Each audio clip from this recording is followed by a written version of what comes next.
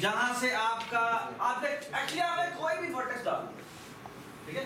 इसके वजह बात है आप एमएससी में आर पास किया कि किसके ऊपर प्रेम शुरू होना चाहिए, लेकिन it doesn't matter you can to take arbitrary any vertex wait tree the tree है ना, वो तो जिस मर्ज़ी आप कनेक्ट कर ओके तो बाद फिर उसके बाद आता है, पहले एक्सट्रैक्ट मिन करता है।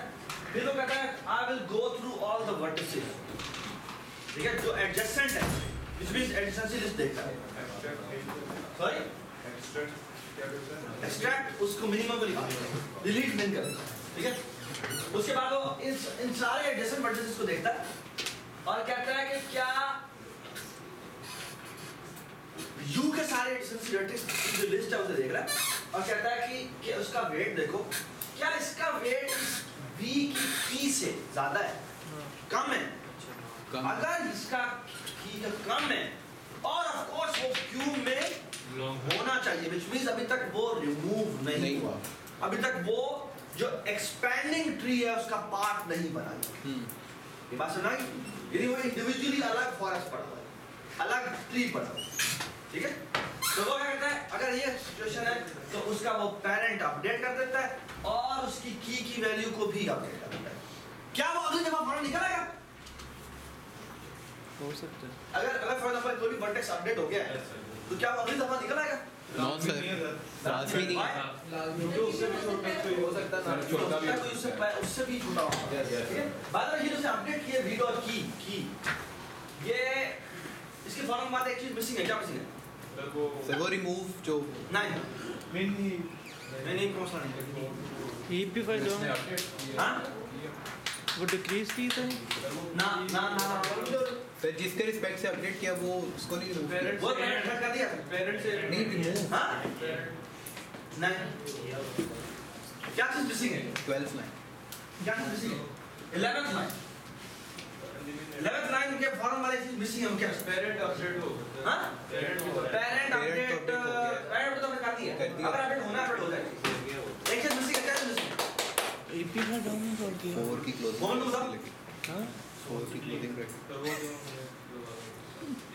नहीं अगर अगर मैं किसी की देखा किसी की वैल्यू कम हो गई है। अब सर फ़ाइल डाउन एग्जैक्टली क्या? क्या डिक्रीज की। ईपी फ़ाइल आपका आप किसी डिक्रीज की किसी का जब उसकी वैल्यू अपडेट होती है तो डिक्रीज की कॉल तो आप तो वो पहले ऊपर ले। ये डज मेक सेंस ठीक है? Alright thank you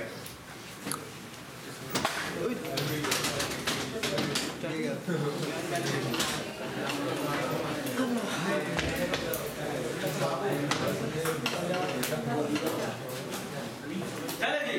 So we are done with Prim algorithm ठीक है?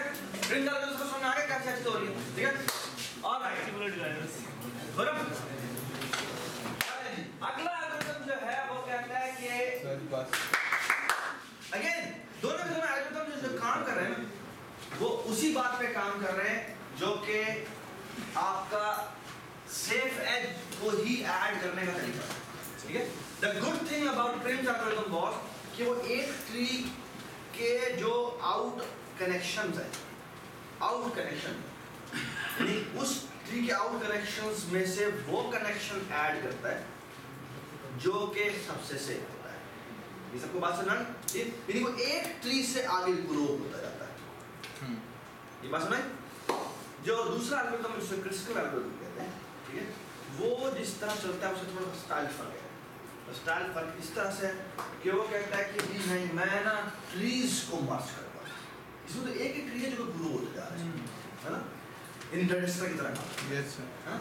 लेकिन जो ये एल्गोरिथम है ये एल्गोरिथम कैसे काम करता है? ये ट्रीज को आपस में मर्ज करता है। फॉरेस्ट में। So फॉरेस्ट तो पहले ही वो होते हैं फॉरेस्ट को आपस में वो मर्ज करता है. ठीक है? इसका जो आइडिया और वो आइडिया बदल कर तो कहता है कि मैं पहले होता है ना कि मेरे ट्री से जो आगे ट्रीज कनेक्ट हो रहे हैं उनमें से मैं सेफ़ एज लूँगा। वो प्रिंस करता है। जो क्रस्कर है वो कहता है from all the trees select the edge which is the safe edge yes sir एक ही बात। हाँ एक एक बात नहीं है। जो प्रिंस है वो कहता है कि मैं एक ट्री से बाहर जाने वाली जो एजेस हैं उनमें से वो वाली एज सेलेक्ट करूँगा जो सेफ़ है। वो कहता है सारे ट्रीज में से जो भी मिनिमम वाली सेफ़ है वो रिमूव कर वो वो ऐड ये है तो वेरी वेरी सिंपल आइडिया और इज़ कि ये हमारे पास ग्राफ गिवन है मैं यहाँ कुछ नहीं देता। ठीक है भैया वहाँ से बेशक नज़र ना लेकिन यहाँ से आना चाहिए। जी। तो ये क्या करता है? इसको थोड़ा नीचे सॉरी मैं थोड़ा सा और नीचे कर रहा हूँ ताकि हम इस पर खुद ड्राइव कर सकें अच्छा ये हमारे पास ग्राफ है पहला काम पता क्या है?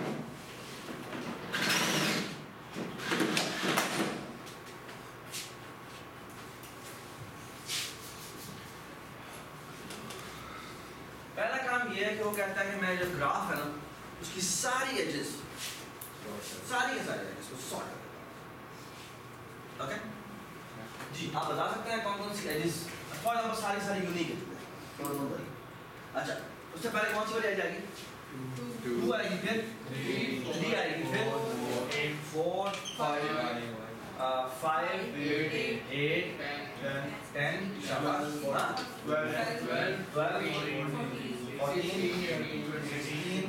eighteen twenty six बस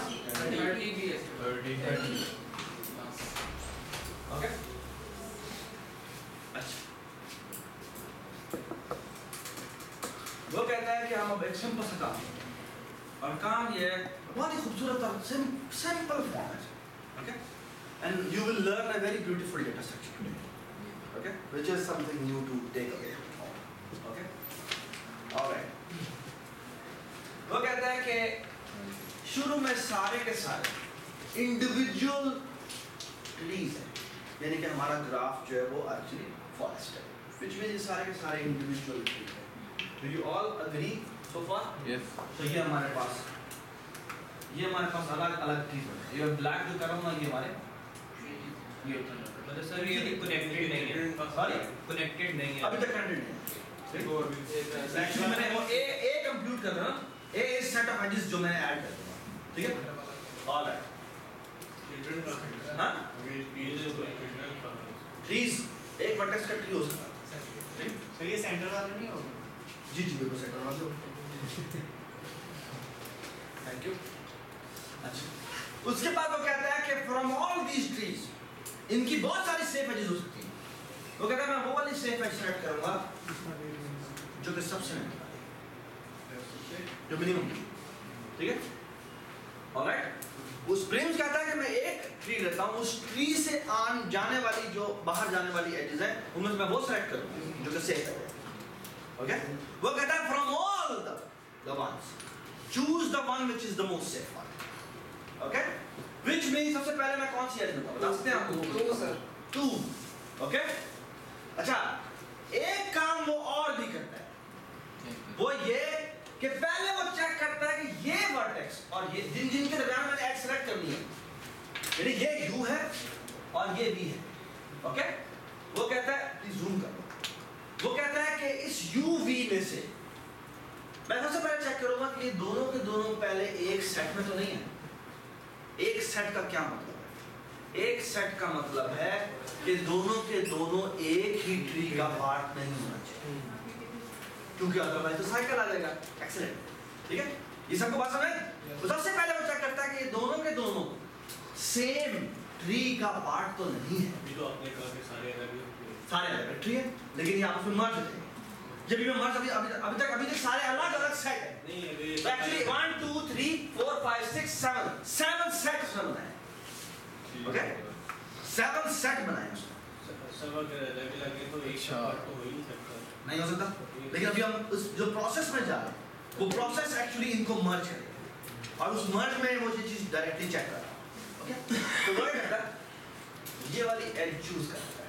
ठीक है? अच्छा। ये एज तो चूज़ करता है साथ वो एक और काम भी करता है एक वो करता है इन दोनों को एक सेट यानी इस सेट और बी सेट इन दोनों को यूनियन करता है। सबको बात सुनाई? सबको? एक ट्री काइंड ऑफ़ बना देता है। यदि वो पैरेट सेट होना वो वैसे वैसे जैसे जैसे आपने किया था वैसे ही करता है ठीक है? लेकिन साथ वो एक और काम करता है वो ये कि यूनियन कर देता है।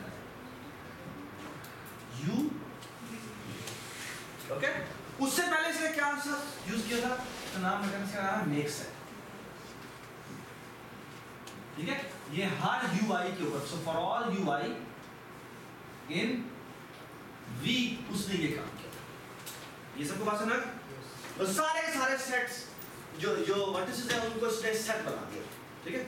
उसके बाद उसने ये ऑपरेशन किया। ये ऑपरेशन को क्यों करा? कि ये दोनों अब अब एक ही सेट है। ये सबको बात सुना? ठीक है? ऑलराइट अच्छा मैं एक छोटी सी बात बताने लगूं जो कि मैंने पहले नहीं बताई थी लेकिन आप ऐसी मुझे रख लिया अगली अगली अगला अगली कौन सी एजेंट सेलेक्ट करनी? पर टू इज़ गॉन जी अगली है थ्री ओके थ्री कौन सी एज है? जी बताएँ। ये ये है यू ये है वी फॉर आप ये है। ना? वो कहता है क्या? ये सेट और ये सेट एक ही तो सेम सेट तो नहीं है। पूरी ट्री को नहीं चेक करेगा। ना ना वो कहता है क्या ये सेट और ये सेट दोनों के दोनों सेम सेट तो नहीं है? ओके ये सबको बात सुना जो कि नहीं है। एक सेट के अंदर एक सेट तो नहीं है। दोनों के दोनों अलग अलग सेट अच्छा इस चीज़ को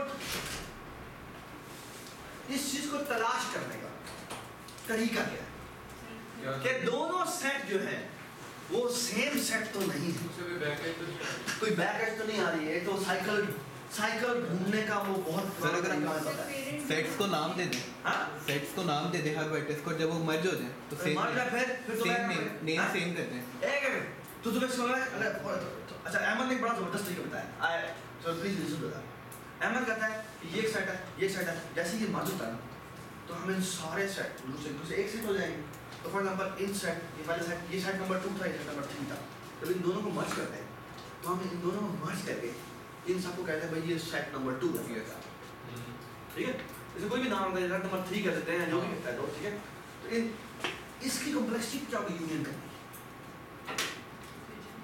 वी जितने नोड्स हैं, जितने भी नोड्स हैं ये- ये सेट था और ये सेट था। इस सेट को जब मर्ज किया तो इसकी कॉम्प्लेक्सिटी कितनी होगी? जब मर्ज किया तो मैंने यही कहा ना कि इन सारे सेट्स इन सारे वर्टिसेस के अंदर मैंने ट्रावर्स करना है। और मैंने कहना भाई अब तुम भी तुम भी इस सेट के हो तुम भी इस सेट के हो तुम भी इस सेट के हो तुम भी सेट हो। ऐसी है एक्चुअली इस सेट का जितना साइज़ है प्लस इस सेट का जितना साइज़ डू यू एग्री तो अगर इसमें 10 थे एलिमेंट इसमें भी 10 थे 20 एलिमेंट थे तो टोटल जो कॉस्ट होगी कितनी होगी? 30 कॉस्ट होगी। Do you agree do you agree ऐसी हो रहा है। लेकिन बात अभी आप आप ट्राई टू इमेजिन दिस ये जो प्रोसेस है ये जो प्रोसेस है जिसमें सारी ये यूनियन होगी वर्स्ट केस में क्या हो सकता है? पहली यूनियन हो एक आपको आपको दो।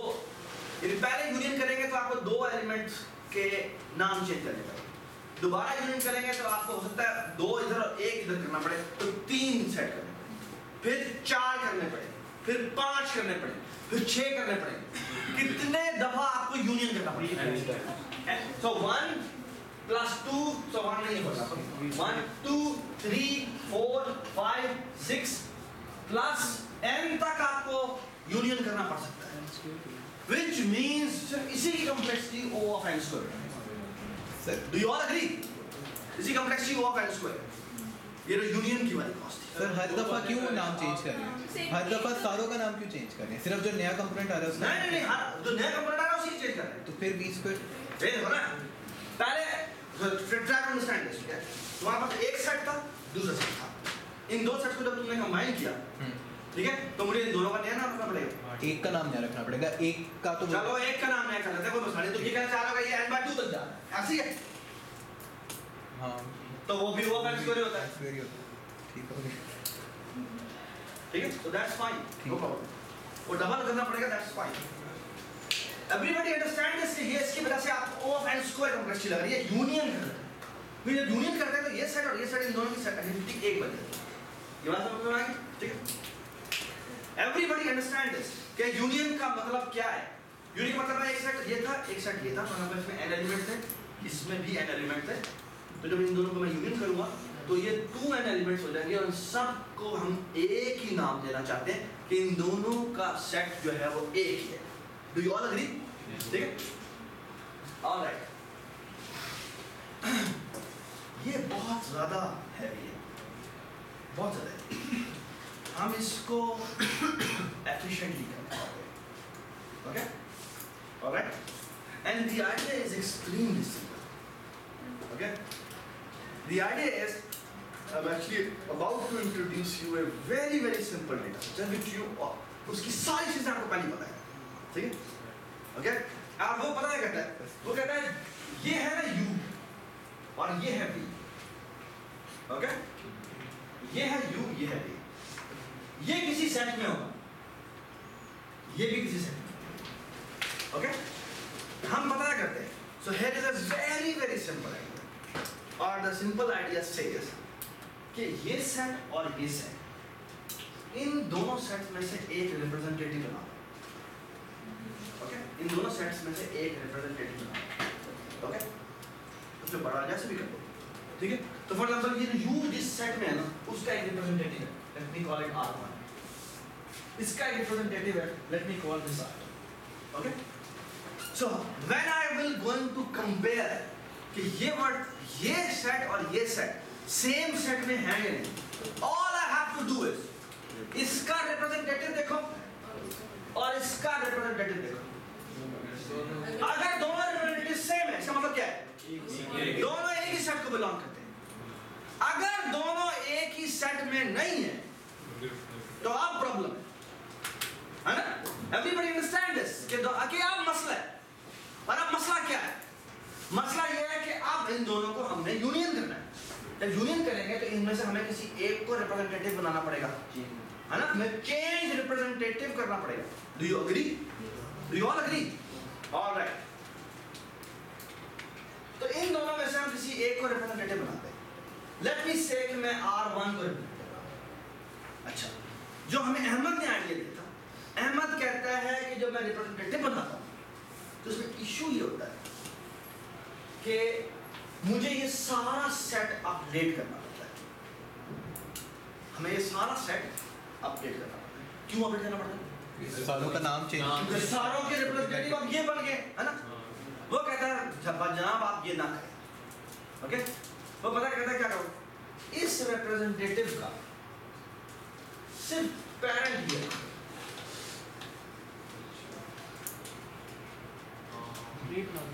ऑल राइट ऊपर से Now, here is my find set algorithm. ठीक है? Find set पता क्या करता है? So here is a very very simple find set algorithm होता है बड़ा बहुत simple सा है. Find set किसी भी set का जो so so generalized idea is कि यहाँ पर जितने भी elements थे, उन सब का भी parent actually यही था.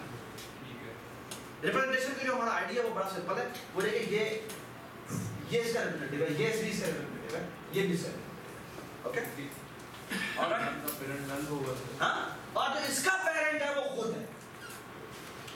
ओके सो पेरेंट जो रिप्रेजेंटेटिव चेक करने का तरीका ये है कि किसी भी वर्टेक्स को अगर हमें अपने पेरेंट चेक करना है ना रिप्रेजेंटेटिव चेक करना है तो हम उससे ऊपर जाते हैं, उससे ऊपर जाते हैं, उससे ऊपर जाते हैं। ओके जैसे ही हम ऐसे वर्टेक्स पे पहुँचते हैं जिसका वो रिप्रेजेंटेटिव वो खुद होता है तो हम वहाँ पे रुक जाते हैं। तो फाइंड सेट एल्गोरिथम बस एक फॉर लूप है। और फॉर लूप है? कि भाई जब तक आप so while while parent of u is not equal to not equal to u बस। क्या कर दो u is equal to parent of u ये बात सुना? यस बहुत ही सिंपल होता है। ओके ऑलराइट तो सर ये हमें गिवन होता है कि आपका रिप्रेजेंटेटिव ये है कि हमें खुद भी कर सकते हम खुद करेंगे। जब हम यूनियन करेंगे तो ये हम खुद करेंगे। याद दो खुद करेंगे ठीक है? अच्छा एक और बड़ी मज़ेदार बात है। वो ये कि अभी भी मसला हो सकता है। मसला ये कि हो सकता है मैं आप आ, ये एक ट्री बना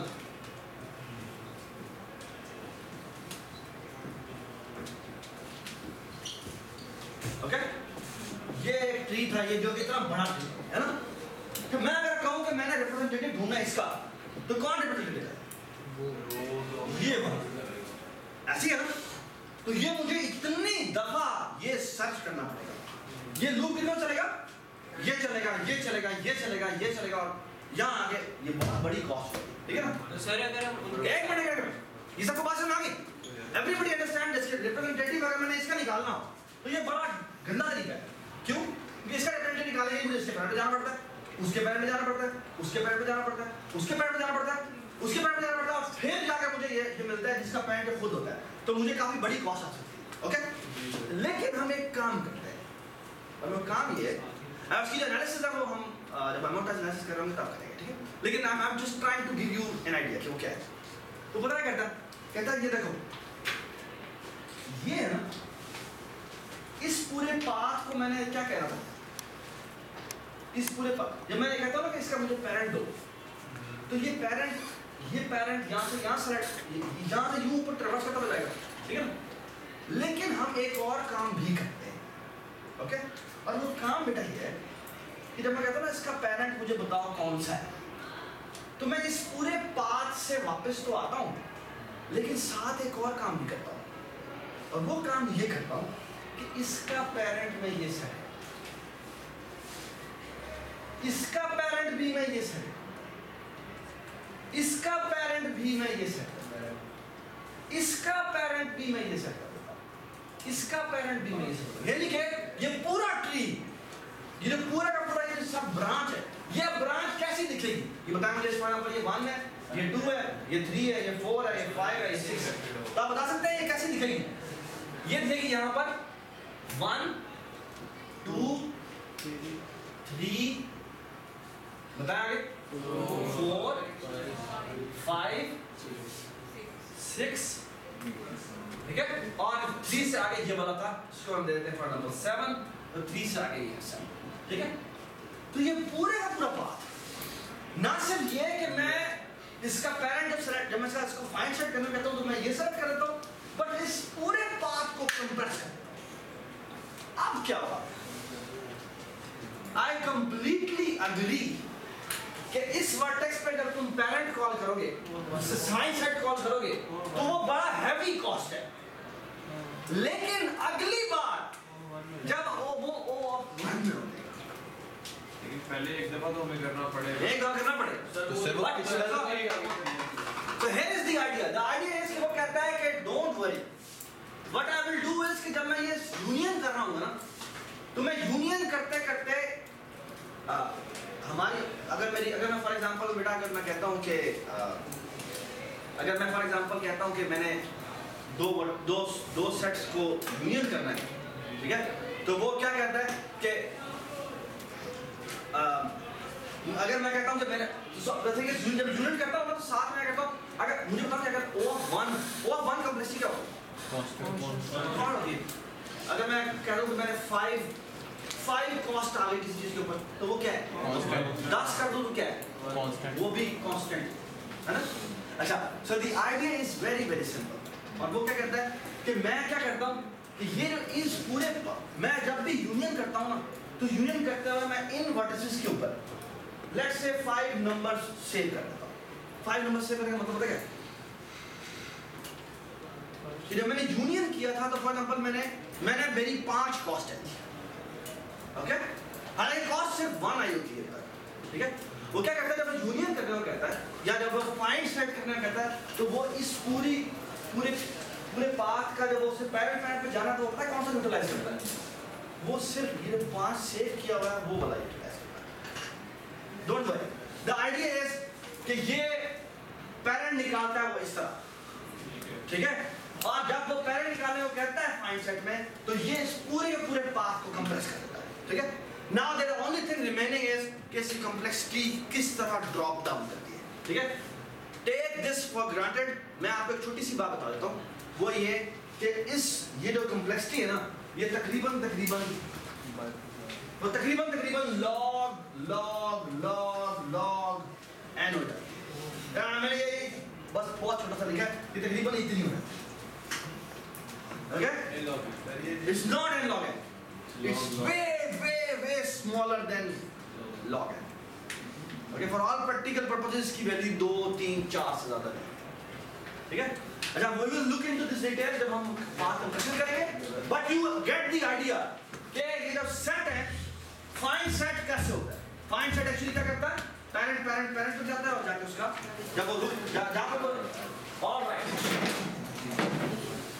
Kruskal algorithm Kruskal algorithm कि मैंने कोई भी एज सेलेक्ट करनी है ऊंचाई सेलेक्ट करते हुए मैं पहले उसे देखता हूँ कि दोनों के दोनों जो वर्टिसेस हैं वो सेम सेट में नहीं होने चाहिए। ये वो कैसे चेक करेगा? उसके representative उन दोनों के रिप्रेजेंटेटिव जो हैं वो अगर सेम है तो उसका मतलब है कि ये साइकिल प्रोड्यूस करने वाली एज है। डोंट टेक दिस ये बात समझा गई? Alright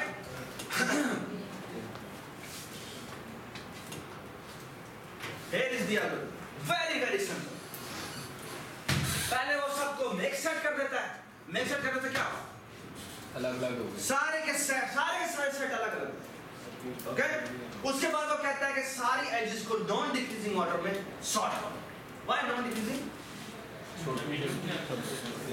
हाँ सबसे छोटी पहले आ गई नॉन डिक्रीजिंग का मतलब ये कि ऐसा भी हो सकता है कि दो एजेस का वेट सेम हो ओके ऑलराइट और अब ये सेफ़ एज सेलेक्ट करने का तरीका और वो कहता है कि भाई यू वी एज ली हमने चेक किया कि इस u का फाइंड सेट हमें क्या रिटर्न करता है और v का फाइंड सेट हमें क्या रिटर्न करता है अगर दोनों में दोनों सेम रिप्रेजेंटेटिव मतलब क्या है कि हमें उनको इस सेट को आया करने की ज़रूरत नहीं है। अदरवाइज़ वो क्या करता है? इस a सेट में जो कि एक्चुअली सेट ऑफ़ एजेस है सबसेट ऑफ़ एजेस है उसमें वो ये u v set edge add कर देता है और यूनियन कॉल कर देता है इस u v के।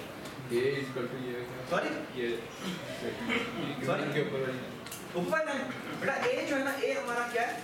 A हमारा उस पूरे ग्राफ का सबसेट ऑफ़ एजेस जो हमने रिटर्न करना वो जब इन द एंड जो a में क्या आएगा? अगर यूनियन पूरा ट्री आएगा। फॉरेस्ट वो अगर ट्री आएगा। वो ट्री की सारी एजेस आएँगे। इन से इन एजेस के साथ की ट्री बस ना? एवरीबॉडी अंडरस्टैंड ओके अच्छा आ सर ये सॉरी जी बताएँ कोई बात? यू अंडरस्टैंड दिस ये एमएसटी जो ये फ़िज़िकल लेवल कैसे काम कर? रहा सर ए में वो डॉट ट्री में लाते हैं है जी एक मिनट डॉट ट्री जब मिलेंगे तब ए यार प्लीज़ बात सुन हेलो डॉट ट्री जब मिलेंगे तब वो ए बन जाएगा। जब दो ट्री मिलेंगे तो वो एक ट्री बन जाएगा। ए जिसको हमने कहा हाँ ए में क्या ए में वो एजेस आ। तो फॉर एग्जांपल मैं आपको आ, इस ट्री वापस जाते हैं। सर आपने कहा रिप्रेजेंटेटिव की इकट्ठा अभी बताते हैं। यूनियन वाले केस में रिप्रेजेंटेटिव सेट होता है। So let me run this algorithm क्या जी. सबसे पहले ये एक्स हुई। ओके अच्छा। अच्छा try to understand I try to run the whole algorithm okay अच्छा ये यू भी एक्स सेलेक्ट हुई। ठीक है? अच्छा। इसमें से किसको रिप्रेजेंटेटिव बनाए ये ये हमारा इस सेट का रिप्रेजेंटेटिव है। ठीक है? मैं डबल सेट लगा ठीक है? ऑलराइट थ्री एच ली थ्री एच ये है उसमें इस v का रिप्रेजेंटेटिव कौन है? हाँ? अपना और v का रिप्रेजेंटेटिव ये खुद है। डू यू अंडरस्टैंड ओके तो ये दोनों डिफरेंट सेट है ये दोनों के दोनों क्या हो जाएँगे? कंबाइन हो जाएँगे which means ये एच भी शामिल है। सर दो बार किया हुआ है। एक एक एक वो पिछली लाइन में ना a a u किया हुआ था उसके बाद वो है वो है उस सेट ये हमारे पास एक सेट है इसका नाम है एड सेट ये ए है। इसके अंदर एजेस ऐड कर तो पहले इसमें एज जो थी वो कौन सी वाली डली है? वो डली है ये वाली। टू वाली। अब जो इसमें एज डली है वो डली है थ्री ये हमने रिटर्न कराना है। ये मैं रिटर्न मिनिमम जो ये रिटर्न करो। अच्छा ठीक है। अच्छा अब आ गया अब क्या करेगा? अब कौन सी वाली एज लेता हूँ? फोर वाली। फोर वाली एज कौन सी है? ये वाली। ये दोनों के दोनों इंडिपेंडेंट अलग अलग सेट इसका रिप्रेजेंटेटिव कौन है? ये खुद इसका रिप्रेजेंटेटिव कौन है ये खुद ये एज सेलेक्ट हो जाएगी। ठीक है? इन दोनों में से कोई एक रिप्रेजेंटेटिव बन जाएगा। कौन सा बना ये बना ओके ऑलराइट अब आगे आओ। अब क्या होगा सॉरी ये फोर भी हमने यहाँ पर ऐड कर जी आगे बताएँ। अब फाइव है हाँ? बाय द वे यहाँ पर टू नहीं लिखा होगा। यहाँ पर एक्चुअली यू वी वर्टेक्स के नाम लिखे होते हैं। ठीक है? पर अगर ये वन और टू था तो यहाँ पर वन कम अप टू आएगा ठीक है? अच्छा यहाँ बताया कौन सी बात यस ये so this is also कौन? हाँ जी फाइव फाइव में देखो तो ये एक सेट है और इसका रिप्रेजेंटेटिव कौन है? आप द वे इसका रिप्रेजेंटेटिव इसके बनाते हुए इसका रिप्रेजेंटेटिव नहीं इसका रिप्रेजेंटेटिव कौन था? लेट्स से इसका भी रिप्रेजेंटेटिव क्या था? यू था। ओके ऑलराइट अब से सुने क्या होगा इसका रिप्रेजेंटेटिव हमने बना दिया यू ओके ऑलराइट चाहिए? Alright so now here is जो सेट की रिप्रेजेंटेशन है वो यूँ होगी। ये इसको बनाएगा वन टू और ये थ्री ये वन ये टू थ्री यहाँ होगा या यहाँ होगा? थ्री ये वर्टेक्स है थ्री वन के साथ हो तो ये ये अलग जो है वो जो सेक्स है वो अलग जगह पर से तो ये थे इसका पेरेंट जो है वो क्या है? वन है। तो थ्री का पेरेंट वन और वन का पेरेंट कौन है। हाँ? वो खुद है है वो है मतलब इसका रिप्रेजेंटेटिव क्या बनता है वन जी इसका रिप्रेजेंटेटिव क्या बनेगा तो मैं फ़ोन कर रहा हूँ ये फाइव है ये सिक्स है ये सेवन हाँ जुड़ता है फोर का रिप्रेजेंटेटिव कौन होगा खुद है वो खुद है इन दोनों की यूनियन हो जाएगी ओके जब यूनियन होती है तो वन के अटैच तो ये वन न्यूज़ का? रिप्रेजेंटेटिव वन न्यूज़ का रिप्रेजेंटेटिव उठा देंगे। जब इन दोनों की यूनियन होगी तो इसका रिप्रेजेंटेटिव क्या बनेगा? वन बनेगा। अब वन को अच्छा। यहाँ पर एक चीज़ नोट करने की है जो कि मैं अगली दफ़ा में बताऊँगा कि किस चीज़ यूनियन होती है किसकी बेस्ड होती है। यूनियन होती है यूजुअली कहते हैं कि एक प्रॉपर्टी जिसे रैंक प्रॉपर्टी है रैंक को भी तो ये समझो कि वो हाइट की बेस्ड होती है। ओके सो हाइट का मतलब ये है फॉर एग्जांपल वो चाहता है कि ट्री की हाइट ज़्यादा ना हो। Okay so the idea is कि द आइडिया इज़ कि अगर जो नया वर्टेक्स आ रहा है, वो कहीं यहाँ पर ऐड होता है। ओके ये क्या फोर तो अगर यहाँ पर ऐड कर दे तो यहाँ पर एक मसला आ सकता है। क्या? चलो, फ़िलहाल यही रखते ठीक है? फोर भी साथ ही आ गया, ये एक्स वही। ठीक है? ये यहाँ पर आ गया। ठीक फोर का रिप्रेजेंटेटिव अब कौन है? वन फोर का रिप्रेजेंटेटिव करने को लिए कहा जाए तो ये यहाँ से पैरेंट पे जाएगा और पैरेंट ठीक है? और आ गया नीचे सेट ए में भी आ जाएगा। So 5 is already already gone 8 पे आ गया? 8 में कौन है? सर ए के अंदर ही डाला। सॉरी ए ए सेट के अंदर। जी वो डाल दे। कितना आ जाएगा? 5 हाई क्या आ जाएगा? 8 धन जी 8 में क्या हो 4 अब ये है क्या 1 4 की? वो दोनों एक सेट 1 का और फोर का दोनों का रिप्रेजेंटेटिव कौन है? ही है। 1 इट मींस ये वाली एज आपकी ऐड नहीं ये बात समझ आई? ठीक है? उसके बाद आती है किसी बारी टेन की। टेन में क्या हुआ? टेन में दोबारा से ये सेम रिप्रेजेंटेटिव आते हैं और ये भी एड सेलेक्ट नहीं। ठीक है? एंड